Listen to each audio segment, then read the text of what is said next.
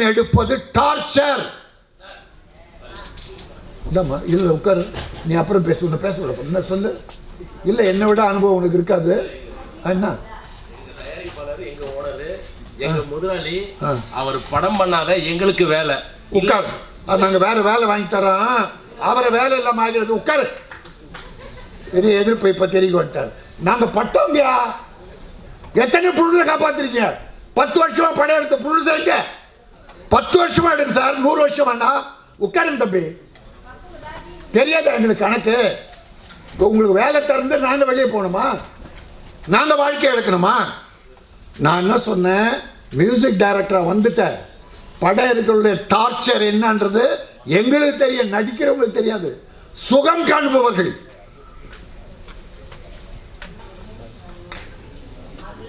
வந்திருக்கிற பெரியோர்களே நன்றி வணக்கம்.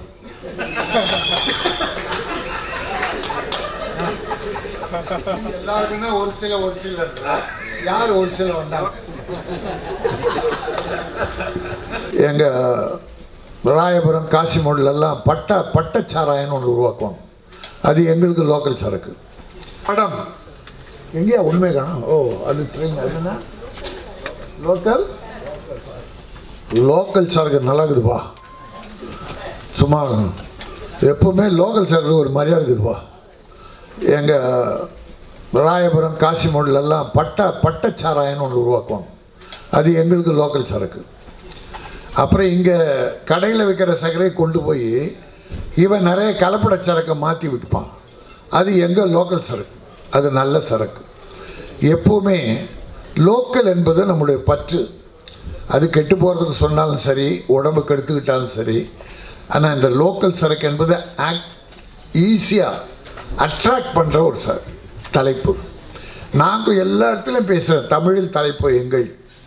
தமிழ் தமிழ்நாடு தமிழ் படம் தமிழக மக்கள் பார்க்கிறார்கள்.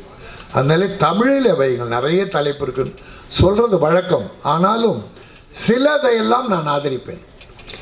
தவிர்க்க முடியாமல் வைப்பது. இப்போ அட்ராக்ட் பண்ண மக்கள் லோ கிளாஸ் பீப்புளாவது சில ஆடியன்ஸ் ஹை கிளாஸ் ஆடியன்ஸே எங்களுக்கு வேணாம். அவங்கள பார்க்க நல்லா இருந்துருச்சுன்னா அவங்க பார்க்குறாங்க.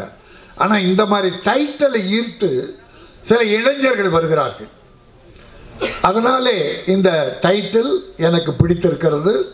இந்த படத்தின் பாடல்களை பார்த்தேன். மிக அற்புதமாக இருந்தது. அந்த குத்துப்பாட்டு இந்த மெலோடி சாங் சொன்னாங்க அப்போ வரல அடுத்த சாங்குக்கு தான் நான் வந்தேன். நான் மெலோடி சாங் கேட்குற வாய்ப்பு கிடைக்கல. நம்முடைய ராஜேஷ் தயாரிப்பாளர் அந்த இசையமைப்பாளர். இசையமைப்பாளராக என்னுடைய அருமை சகோதரர் சங்கர் கணேஷிடத்திலே நான் பயிற்சி பெற்றேன் என்று சொன்னார். நிச்சயமாக உங்கள் திறமை பெரிய அளவிலே இருக்கும். ஏனால் சங்கர் கணேஷ் அவர்கள் ஒரு தெய்வ பக்தி இல்லை தேசபக்தி மட்டுமல்ல ஒரு முதலாளிகள் மீது பக்தி உள்ள ஒரு அற்புதமான இசையமைப்பாளர். அந்த சங்கர் பாருங்க இன்னைக்கு என்ன இள என்னை விட முப்பது வயசு கூட ஆச்சு. அவன் இன்னைக்கும் அன்னைக்கு நான் தொண்ணூறில் ஒரு படம் எடுத்தேன். நைன்டி நைன்டீன் நைன்டி நம்ம ஊர் மாரியம்மா. நம்ம ஊர் மாரியம்மா கதை திரைக்கதை வசனம் டைரக்ஷன்லாம் நான். எனக்கு ஒரு பெரியவர் மோகன் டைரக்ட் வழிகாட்டினார். அவருடைய ஆதரவோடு தான் அதை நான் டைரக்ட் பண்ணேன். அதுக்கு இசை சங்கர் கணேஷை ஃபிக்ஸ் பண்ணேன். ஃபிக்ஸ் பண்ணிட்டு அஞ்சு சாங் அஞ்சு சாங்குக்கு நான் பேசுனது அவர் கேட்டது முப்பதாயிரம் ரூபா இசையமைக்க அவர் கேட்டது முப்பதாயிரம் ரூபா நான் கொடுத்தது பதினெட்டாயிரம் ரூபா யாருமே ஒத்துக்க மாட்டாங்க. யாருமே ஒத்துக்கிட்டாங்க வந்து போகிறது கூட ஆகாது. அந்த காலத்தில் அந்த பதினெட்டுனா இன்றைக்கி என்ன? பத்து இருபது முப்பத்தி ரெண்டு வருஷம் ஆச்சு இன்னைக்கு அதுதான் மூன்றரை கோடின்னு வச்சுங்க. இந்த இசைக்கு பதினெட்டு ஒத்துக்கிட்டாரா? ரைட் ஒரு படம் விடக்கூடாது. நம்ம ஊர் மாரியம்மான் அம்மன் பேரில் இருக்குன்னு ஒத்துக்கிட்டாரா? முதல் சாங் ரெக்கார்டிங் மேத்தா. கவிஞர் மேத்தா. அது அந்த சாங்குக்கு செலவு இருக்குல்ல. அன்னைக்கு ரெக்கார்டிங் அன்னைக்கே பண்ணி கொடுத்துருவாங்க. இதுக்கு அஞ்சு நாள் ஏழு நாள்லாம் எடுக்கவே மாட்டாங்க. சங்கர் கணேஷுக்கு இவர் கூட உட்காந்து சில வழிமுறைகளை சொல்லுவார். சங்கர் என்ன பண்ணுவார்? அதை போட்டுட்டு ஒன் டூ ஹவர்ஸில் டியூன் போட்டுருவாங்க.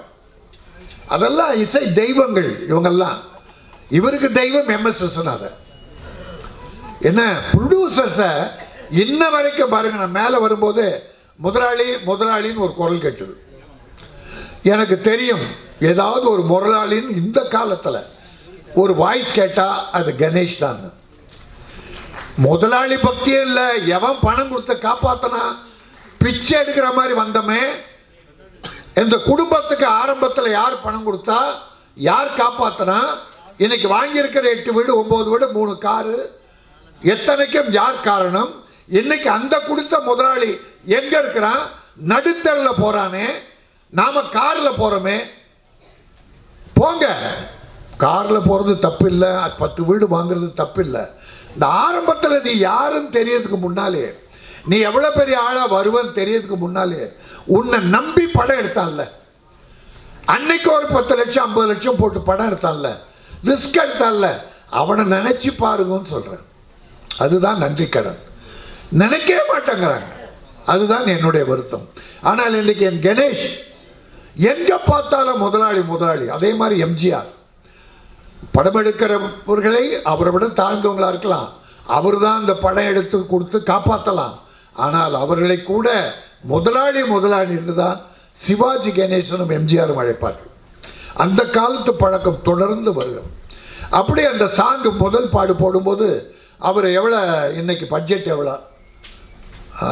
ஆனால் பன்னெண்டாயிரம் ரூபா ஆகுன்னு அன்னைக்கு ஒரு பாட்டு எடுக்க பன்னெண்டாயிரம் ரூபா. நான் இல்லை கணேஷ் அவ்வளோ பணம் என்கிட்ட கிடையாது. ஆறாயிரம் ரூபா. பேரம் பேசுவோம். ரொம்ப தமாஷா இருக்கும். இப்போல்லாம் பேசவே முடியாது. அவன் என்ன பில் போடுறான்னு அதான்.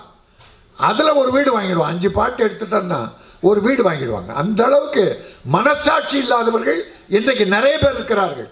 தீனா கோச்சிட்டாலும் சரி. என்ன தம்பி? ஆனால் தீன மனசாட்சி உள்ள ஒரு அற்புதமான இயக்குனர். மனசாட்சி உள்ளதெல்லாம் இப்போ சான்ஸ் இல்லாமல் இருக்கிறாங்க. அப்படி அவர் வந்து பன்னெண்டாயிரம் கேட்ட நான் ஆறாயிரத்தை ஆரம்பித்து ஒன்பதாயிரத்தில் ஒரு பாட்டு எடுத்து கொடுக்கப்பார் சார் நைன் தௌசண்ட் நினைச்சு கூட பார்க்க முடியாது. ஒவ்வொரு பாட்டையும் அப்படியே அவர் சொல்றதுன்னு பாதி பாதி பாதியாக போட்டு அவர் பாட்டு அற்புதமான பாடல்கள் எடுத்து கொடுத்தாங்க. அதனால் என்ன பண்ணேன் அடுத்தது தங்கமான தங்கச்சி. சரத்குமார் ஹீரோ முதல் ஹீரோ நான் தான் போட்டேன். அது வரைக்கும் வில்லனாக இருந்தார். ஆனால் அவரை கேட்டால் நான் சூரியன் ஹீரோ அப்படின்னு சொல்லுவாங்க. ஃபெயிலியரான படங்களை சொல்ல மாட்டாங்க யாருமே. அதை பாஸ் ஆகுது இல்லையா? அதைத்தான் சொல்ல அது அவங்க இஷ்டம். அதுக்கடுத்து சின்ன புவி கில்லாது. மூன்று படங்களுக்கும் அவங்க குறைச்சி குறைச்சி பண்ண சார்.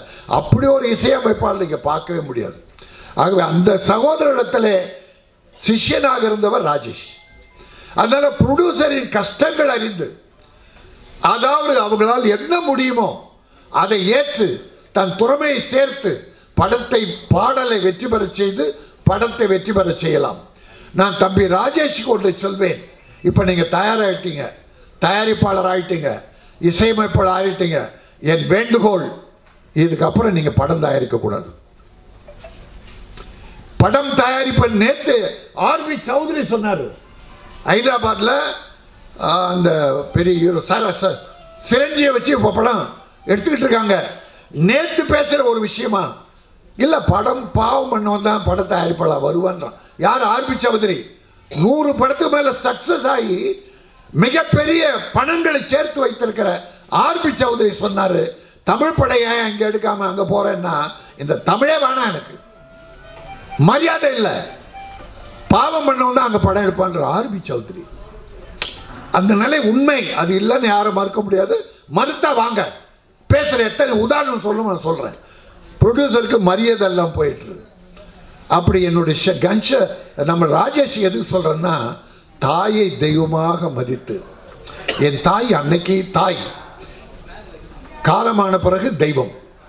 இப்பொழுது உன் தாய் அல்ல தெய்வம். அந்த தெய்வத்தின் ஆசீர்வாதம் உனக்கு நிச்சயம் உண்டு. அதோட மனைவியும் சகோதரியும் அழைத்து மேடைக்கு வாருங்கள். என்று சொன்ன அந்த தாய் குலத்துக்கு நீங்க கொடுக்கிற மரியாதை அதுவே உங்களை வெற்றி பெற வைக்கும். அதனால படம் எடுக்காதீங்க. இப்ப வேணாம். ஒரு அஞ்சு படம் பத்து படம் நீங்க பெரிய மியூசிக் டைரக்டர் வாங்க. அதில் சேர்த்துக்கிட்டு அப்புறம் படம் எடுங்க. வேண்டாம்னு சொல்ல இப்போ வேண்டாம். ஏன்னா படம் எடுப்பது டார்ச்சர் இந்தாம்மா இல்லை உட்காரு. நீ அப்புறம் பேசு உன்னை பேச விட என்ன சொல்லு. இல்லை என்னை விட அனுபவம் உனக்கு இருக்காது. என்ன? எங்க முதலாளி. அவர் படம் பண்ணாத எங்களுக்கு வேலை. உட்காரு. அது நாங்கள் வேற வேலை வாங்கி தரோம். அவரை வேலை இல்லாமல் ஆகிறது உட்காரு. பெரிய எதிர்ப்பு இப்போ தெரிய வந்துட்டார் நாங்கள் பட்டோங்கயா எத்தனை பேர் எனக்கு? உங்களுக்கு வேலை திறந்து நாங்கள் வெளியே போகணுமா? நாங்கள் வாழ்க்கை எடுக்கணுமா நான் என்ன சொன்னேன்? மியூசிக் டைரக்டராக வந்துட்டேன். படம் இருக்கிறவருடைய டார்ச்சர் என்னன்றது எங்களுக்கு தெரியும் நடிக்கிறவங்களுக்கு தெரியாது. சுகம் காண்பவர்கள். அதனால் இதெல்லாம் இப்படி டிஸ்டர்ப் பண்ணுறவங்க வச்சு நன்றி சொல்லுங்கள் நீங்கள் நன்றியோடு இருங்க. ஆனால் அதுக்காக வந்து எங்கள் ப்ரொடியூசர் படுற கஷ்டங்களை என்னன்றது நாளும் அனுபவிப்பார்கள் நான் அனுபவிச்சிருக்கேன் ஒம்பது படம் எடுத்து. நான் இப்படி பேசுகிறேன் எவ்வளோ அவமானப்பட்டிருக்கேன் தெரியுமா? செல்லுமணிக்கு தெரியும். அதனால் முதல்ல இப்படி குறுக்கிட்டு வந்து உங்கள் நன்றியை பேசக்கூட போகிறாங்க அப்போ சொல்லுங்கள் இது என்ன டிஸ்டர்ப் பண்ணக்கூடாது நான் பல பேரை டிஸ்டர்ப் பண்ணுறேன் ஆகவே தம்பி இப்போ படம் வேணாம். அந்த தம்பிகள்லாம் சொல்லுவாங்க நல்லா இருங்க மியூசிக்கில் சக்ஸஸ் பண்ணுங்க. இடையில படம் எடுக்கிற வேலை வந்தால் டிஸ்டர்ப் ஆகிடும் மியூசிக் வராது. தனியாக கவனம் செலுத்த முடியாது. அந்த அக்கறையில் சொல்கிறேன் சக்ஸஸ் பண்ணுங்க. அதுக்கப்புறம் ரெண்டு படம் எடுங்கன்னு தான் நான் சொன்னேன். அப்போ இவருக்கு வேலை கொடுங்க. ஆனால் ஃபாதர் ரோலுக்கு தான் வருவார் அன்னைக்கு. ஆரம்பிச்ச குதிரைகளே இந்த படம் வெற்றி பெறும். ஏன்னா ராஜ்குமார் சுறா படத்தின் டைரக்டர் அவ்வளோ பெரிய ஹீரோ வச்சு ஒரு படம் பண்ணிட்டு இந்த சின்ன படமே என்னால் வெற்றிகரமாக செய்து கொடுக்க முடியும் என்றார்னா தம்பி வாழ்க. இன்னும் மறுபடியும் சாதிப்பீங்க. என்னுடைய தினேஷ் டான்ஸ் மாஸ்டர் தினேஷ். ஒரு ரெண்டு மாதம் முன்னால் ஒரு படத்துக்கு டான்ஸ் அமைச்சார் நீலாங்கரையில். சிம்பிளாக ஒன்லி டூ டேஸ் அருமையான ஒரு பாட்டு. அது பேசப்படும். பேசப்படும். படத்தின் பேர் பஜனை. சிம்பிளா செலவு கம்மியா. ஒரு காமெடி படம். அற்புதமா பண்ணி கொடுத்துருக்காரு. அந்த படம் பண்ண பிறகு இன்னொரு பாட்டை அந்த ப்ரொடியூசர் கூப்பிட்டு கொடுறாரு சார் நீங்களே இதை பண்ணிடுங்க சார். அந்த அளவுக்கு ப்ரொடியூசருக்கு ஒத்துழைப்பு இருந்தால் எல்லாரும் நல்லா இருப்பாங்க. எல்லாரும் நல்லா இருக்கணும். அந்த அக்கறையோடு தான் நான் எல்லோருக்கும் பேசி கொண்டிருக்கிறேன். என் ப்ரொடியூசரை காப்பாற்றுவது என் வேலை. அந்த பஜனை படத்துக்கு வந்தாங்க சார் படம் எடுக்க. ஏறக்குறைய அறுபது எழுபது லட்சம் கம்மியாக எடுக்கிறதுக்கு நான் வழிகாட்டினேன். நான் இல்லைன்னா அவன் மூன்றரை கோடி ஆகிருக்கும் நான் அதை வழிகாட்டுறதால ரெண்டே கோடி ரெண்டு எழுபத்தஞ்சில் முடிச்சாங்க ஏன்னா எப்படி வாரி கொட்டுறது வாங்கி ஓடுறது தான் இங்கே வேலை. அதை எப்படி செலவை சிக்கனாக பண்ணுங்க படம் எடுங்க நல்ல படம் எடுங்க என்று சொல்லி இந்த லோக்கல் சரக்கு நிச்சயமாக இளைஞர்களை கவரும். அதில் அந்த அளவுக்கு விஷயம் இருக்கிறது. பாட்டுக்கள் அத்தனையும் மிகச்சிறப்பாக அமைந்திருக்கிறது. நம்முடைய தினேஷும் அவர் அந்த ஹீரோ என்ன பாபு? தம்பி யோகி பாபு. இன்றைக்கு நல்ல மாதிரியில் வந்துட்டுருக்கார். நல்ல மாதிரியாக வந்துட்டுருக்கார். சிம்பிளாக சின்ன ப்ரொடியூசர்கள்லாம் ஒரு நல்ல அமைக்கபலாக ஓரளவுக்கு உதவி செய்து கால்ஷீட்டையும் ஒழுங்காக கொடுத்து நல்ல மாதிரியாக பண்ணிட்டுருக்காரு. அவருடைய படங்கள் ஒரு வியாபாரம். நிச்சயம் இருக்கிறது. ஓடிடியில் இருக்குது தேட்டருக்கு ஆட்கள் வர்றாங்க. அதனால் அந்த தம்பி ஒரு தடவை எங்கிட்ட ஒரு ரிப்போர்ட் வந்தது. நான் ப்ரொடியூசர் கவுன்சில் இருக்கும்போது டப்பிங் பேச மாட்டேங்கிறாரு. அப்படின்னாரு. நான் என்ன பண்ணிட்டேன் சத்யா ஸ்டுடியோவில் ஒரு படத்துடைய ஆடியோ ஃபங்க்ஷன் நடக்கும்போது இந்த மாதிரி ஒரு படம் எடுத்து வச்சுட்டு அடுத்த படம் முடிச்சுட்டு அடுத்த பத்து படம் பண்ணுறேன் டப்பிங் ஆறு மாதம் பொறுத்து பண்ணுறேன்னா அந்த ப்ரொடியூசர் கதி என்ன? யோகி பாபு தம்பி அதை யோசிக்கணும் அப்படின்னு ஒரு வேண்டுகோளை வச்சேன். அப்போ அவர் ராஜஸ்தானில் ஷூட்டிங்கில் இருக்கார். இதை யாரோ பிஆர்ஓ உடனே சொல்லிட்டார் ஒன் ஹவரில் என் ஸ்பீச்சை ஆனால் அந்த தம்பியை பாருங்க. உடனே ராஜஸ்தான்லேருந்து லஞ்ச் டைம் எனக்கு ஃபோன் அண்ணே அது இல்லைன்னு காரணம் ப்ரொடியூசர் மேலே தப்பு இருக்குது அப்படின்னு விஷயம் சொன்னார். ரைட் இருக்கட்டும். ப்ரொடியூசர் பணம் போட்டான். ஆறு மாதமாக படம் நிற்குது தம்பி நீங்கள் கொஞ்சம் பேசி கொடுத்துருங்க. அதுக்கப்புறம் மீதி ஏதாவது இருந்தால் என்கிட்ட சொல்லுங்கள் நான் தீர்த்து வைக்கிறேன்னு. சார் வந்த ரெண்டு வாரத்தில் திருப்பி பேசிட்டார் சார். ஆக ஒரு மனிதாபிமானம் உள்ள ஒரு இன்றைக்கு காமெடியாக ஹீரோவாக வருகிற ஒரு நம்ம நல்ல நகைச்சுவை நடிகர் அவரும் நன்றாக இருக்க வேண்டும். இதில் தொழில்நுட்ப கலைஞர்கள் நடிகர்கள் இயக்குனர் பல பேரை முன்னேற்றத்தை வைக்கிற இயக்குனர் ராஜ்குமார். அவர் வளர வேண்டும். ப்ரொடியூசர் என்னுடைய அருமை ராஜேஷ் மியூசிக் டைரக்டராக முதல்ல வெற்றிகள் பெற்று பிறகு தயாரிப்பாளரும் வெற்றி பெற வேண்டும் என்று வாழ்த்தி விடைபெறுகிறேன். நன்றி வணக்கம். ராஜேஷ். தாயை தெய்வமாக போற்றுகிற அருமை தம்பியை போராட்டுகிறேன் சகோதரியையும் மனைவியும் மதிக்கிற ஒரு சகோதரி பார்த்துகிறேன். குருநாதனாக எங்கள் சங்கர் கணேஷை மதிக்கிற ஒரு அருமை தம்பி. இப்படி ஒட்டுமொத்த நல்ல குணம் கொடுத்த இசையமைப்பாளர் வாழ்க தயாரிப்பாளர்களும் பின்னாலே வெற்றி பெறுக.